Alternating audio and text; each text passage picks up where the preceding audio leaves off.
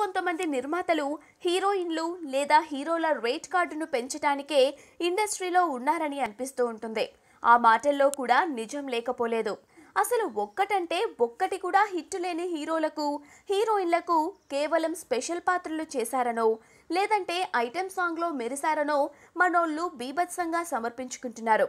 అదిగో ఇప్పుడు క్యాథరిన్కు ఎంత ఇచ్చారో చూసుకోండి మరి.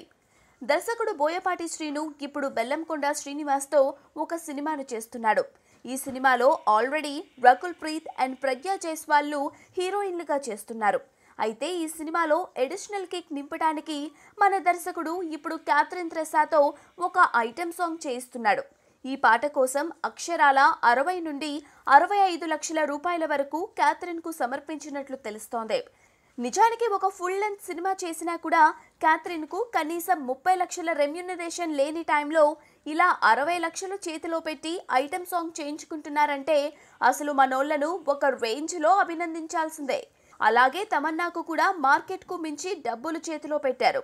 అందుకే వారికి హిట్లు తక్కువగా ఉన్నప్పటికీ భారీ పైకం అందింది. ఇప్పుడు క్యాథరిన్ను కూడా అటుగానే నడిపించేలా ఉన్నారే.